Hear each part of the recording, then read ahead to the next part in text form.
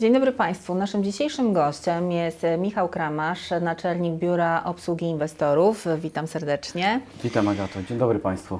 E, no cóż, e, jesteśmy w bardzo dziwnym położeniu, bo e, między dwoma bardzo dużymi, atrakcyjnymi miastami, czyli z jednej strony Katowice, z drugiej strony Wrocław, ale jako Opole jesteśmy wciąż atrakcyjni dla inwestorów zagranicznych. O tym świadczy, świadczy duża ilość inwestycji u, u nas w mieście, co sprawia, że faktycznie jesteśmy atrakcyjni i że te inwestycje są tutaj co chwilę tworzone i że inwestorzy chcą inwestować w naszym mieście. Jest kilka czynników czynników. Przede wszystkim położenie, właśnie to, że jesteśmy między Katowicami a Wrocławiem.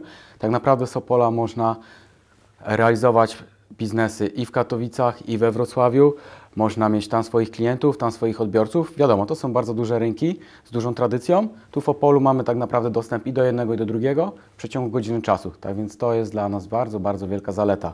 Kolejna zaleta jest taka, że Opole dzięki temu, że jest miastem średniej wielkości, bardzo sprawnie jest w stanie realizować różne potrzeby naszych inwestorów. U nas nie ma długiego pionu decyzyjnego, u nas się długo nie czeka, nasze urzędy działają bardzo sprawnie, a procedury administracyjne też są bardzo ważne dla inwestorów. Więc to, że też jesteśmy takim miastem średnim, ale bardzo sprawnym, bardzo dynamicznym, to też pomaga. No i obecnie mamy chyba najlepszy w Europie, na pewno najlepszy w Polsce teren inwestycyjny, od wielu, wielu lat sukcesywnie przygotowany we Wrzoskach. 110 hektarów terenów inwestycyjnych skupione w jednych rękach, z super infrastrukturą techniczną i myślimy, że to jest tak naprawdę przyszłość teraz dla Opola i dla regionu.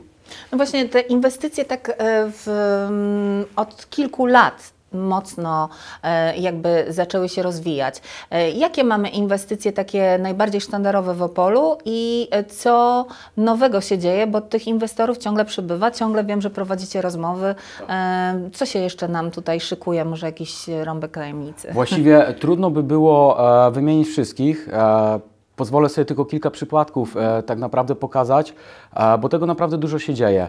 E, ostatnia wiadomość, e, która do nas spłynęła, e, wielka, wielka inwestycja firmy Danon, e, właściwie druga taka na świecie, tego międzynarodowego giganta, właśnie tutaj w Opolu, produkcja specjalistycznego żywienia dla osób, które, które wymagają hospitalizacji. Rzecz stricte wyjątkowa, jest to produkt medyczny, farmaceutyczny, Takich fabryk jest niewiele w Polsce. Cała grupa Danon ma tylko dwie takie na świecie, łącznie z tą w Opolu, więc to jest na przykład wyjątkowa rzecz.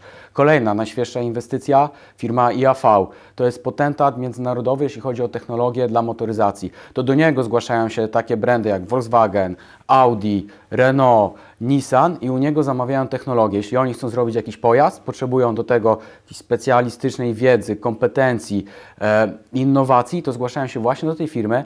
E, ta firma już teraz, mimo że jest dwa miesiące w Opol, ma ponad 50 inżynierów zatrudnionych. Najwyższy top, najwyższy level, jeśli chodzi o kompetencje i umiejętności. Kolejny przykład, firma IFN.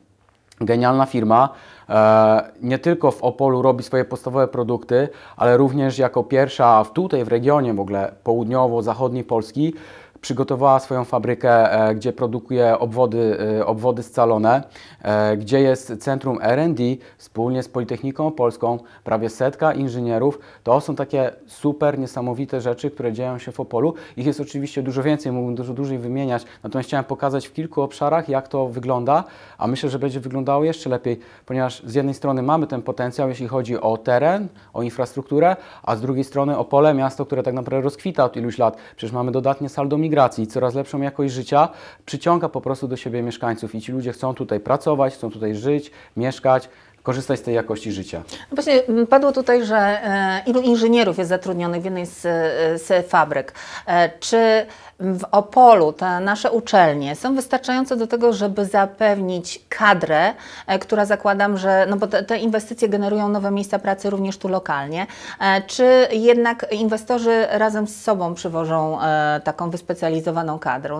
kadrę? Jak to wygląda? Na początku na pewno jest zawsze grupa osób, które wprowadzają pewien proces technologiczny i przekazują wiedzę tym osobom, które są już tutaj na miejscu. Natomiast nasze uczelnie są fantastyczne z jednego prostego powodu. One one są w stanie bardzo szybko dopasować się do potrzeb konkretnego inwestora. Stworzyć taki program nauczania, który odpowiada jego potrzebom i go sprawnie realizować. I to jest coś fantastycznego, coś, co nas wyróżnia na tle Wrocławia, Katowic czy Krakowa. To jest naprawdę wyjątkowa wartość dodana i to wszyscy inwestorzy potwierdzają. E, Czy y, my jako miasto też robimy w jakiś sposób selekcję tych inwestorów? No bo przypuszczalnie e, to jest tak, że część inwestorów y, Wy jako wydział pozyskujecie, staracie się, zabie- zabiegacie o to, żeby tutaj inwestowali, część się zgłasza sama. No ale nie wszystkie inwestycje są tutaj e, możliwe do wykonania. Jak to wygląda proceduralnie? E, Gospodarka miasta Opola jest mocno zdywersyfikowana, tak więc w tym momencie tak naprawdę mamy z każdej branży istotnej dla przemysłu e, po jakimś e, inwestorze bądź po kilku inwestycjach.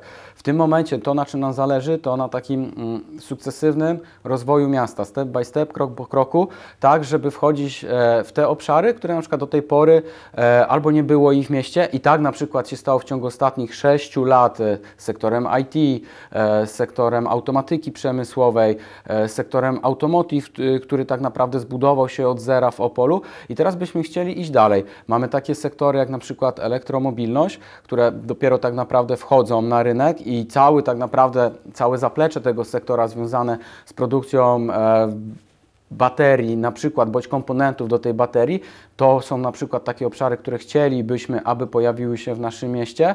I wciąż mimo wszystko szeroko rozumiany sektor IT, bo to jest sektor bardzo przyszłościowy, który się bardzo rozwija. Dzisiaj wszyscy mamy na ustach sztuczną inteligencję, a to przecież tak naprawdę gdzieś na zapleczu cały czas są setki, tysiące informatyków, którzy tym się zajmują. I chcielibyśmy po prostu jako miasto uzupełniać e, ten, ten bagaż e, kompetencji, który jest tutaj na miejscu. Cały świat jest zdominowany i cały biznes e, tak naprawdę przez Azjatów. Czy u nas też tak jest, że ci inwestorzy zazwyczaj gdzieś, którzy się pojawiają, to są, e, to, to są przedstawiciele krajów azjatyckich, nie wiem, Chiny, e, Japonia, e, Korea? Jak to wygląda? Dokładnie tak to wygląda. Faktycznie widać potężny potencjał i przemysłowy, i intelektualny, gospodarczy, jeśli chodzi o tamtą część Azji. Korea, Japonia, Chiny to części goście w Opolu. Staramy się ich zachęcać do tego, aby tutaj na miejscu w Opolu zaufali przede wszystkim mieszkańcom, bo tak naprawdę inwestor musi zaufać miastu. E, To, to nie jest kwestia zaufania nam, urzędnikom, musi zaufać miastu, że tu są odpowiedni mieszkańcy, że tu są odpowiednie uczelni, że tu jest odpowiednia jakość życia, że on się tutaj odnajdzie ze swoją rodziną e, i zabiegamy o to, żeby oni się tutaj u nas pojawili E, i tak, i widać pewną, może nie nadreprezentację, ale widać ten wielki potencjał tamtej części świata, jeśli chodzi o te nowe branże, no- nowe dziedziny przemysłu. E, Może nie musimy zdradzać, ale e, proszę powiedzieć, czy e, mamy się spodziewać już wkrótce jakichś nowych inwestycji, bo wiem, że jakieś prace są. Nie będę pytać o szczegóły, bo to zazwyczaj jest owiane tajemnicą na początku, ale możemy się spodziewać jakichś nowych inwestycji jeszcze w tym roku, czy już na, na przyszły rok? Myślę, że z takich rozmów wewnętrznych już w tym roku będą oczywiste pewne kierunki. Natomiast często jest tak, że inwestor do momentu, w którym na przykład nie przeprowadzi transakcji gruntem, nie zabezpieczy umów na media, woli e, gdzieś tą informację trzymać w tajemnicy i ogłaszać kiedy wszystko ma już dopięte. Natomiast tych rozmów nawet teraz w tym momencie toczy się ileś równolegle e, i myślę, że jest duża szansa na ich powodzenie. Na pewno będziemy Państwa informować o tym, jakie nowe inwestycje powstaną w naszym mieście, bo na pewno są to momenty, w których jest się czym chwalić. E, A ja dziękuję bardzo za rozmowę. Naszym dzisiejszym gościem był Michał Kramasz z biura, naczelnik Biura Obsługi Inwestorów. Dziękuję Ci, Agata. Dziękuję Państwu.